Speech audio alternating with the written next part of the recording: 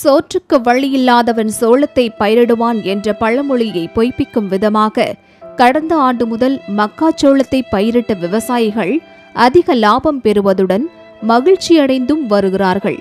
தேனி மாவட்டம் போடிநாயக்கனூர் பகுதியில் மக்காச்சோள விவசாயம் பிரதானமாக நடைபெற்று வருகிறது என்றும் மழை பொய்த்து போன நிலையிலும் கண்மாய் நீர் தட்டுப்பாடு ஒரு பக்கம் இருந்தாலும் மின்சாரம் இருக்கிற நேரத்தில் கிணற்றில் இருந்து மின்மோட்டார் மூலம் நீர் வார்த்த சோளப் பயிர்கள் நன்கு விளைச்சலை தந்துள்ளது என்று மகிழ்ந்துள்ள விவசாயிகள் உணவு பயன்பாடுகளுடன் கோழி தீவனத்திற்கும் மக்காச்சோளங்கள் அதிக அளவில் பயன்படுவதால் இவற்றின் வளர்ச்சி தற்போது அதிகரித்துள்ள நிலையில் இவற்றின் விலையும் அதிகரித்துள்ளது என்றும் பீகாரில் ரவி என்று அழைக்கப்படும் இந்த மக்காச்சோளம் கடந்த ஆண்டை விட தற்போது நல்ல விளைச்சலை தந்துள்ளதாகவும் அதற்கு அடுத்தபடியாக தமிழகத்திலும் அதிக மகசூலை தந்துள்ளது என்றும் கூறும் விவசாயிகள் தற்போது குவிண்டால் ஒன்றுக்கு பதிமூன்றாயிரம் ரூபாயிலிருந்து பதினைந்தாயிரம் ரூபாய் வரையிலும் கிடைக்கிறது என்று மகிழ்ச்சியுடன் கூறுகின்றனர்.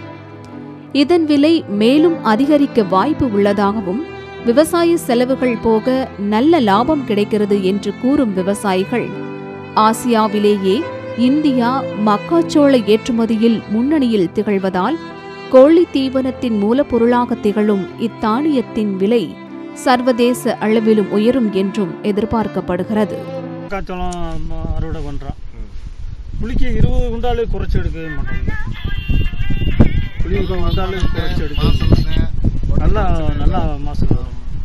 நம்ம பார்க்குறத பொறுத்து நல்லா மாசம் எடுக்கும் எப்படி எந்த முறையில் பயன்படுத்தி நீர் கம்மா தண்ணியும் பாயேன் எங்கள் மோட்டார் தண்ணியும் பாய்ச்சோம்.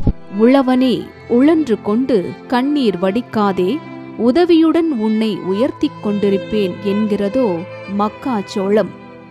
நீங்கள் ஒதுக்கினாலும் உங்களை ஓங்க வைப்பேன் என்று வாரிக் கொடுக்கிறது மகசூலை.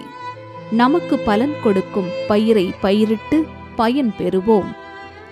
லோட்டஸ் செய்திகளுக்காக நாகேஸ்வரி சவுந்தரராஜன் மற்றும் திருக்குமார்.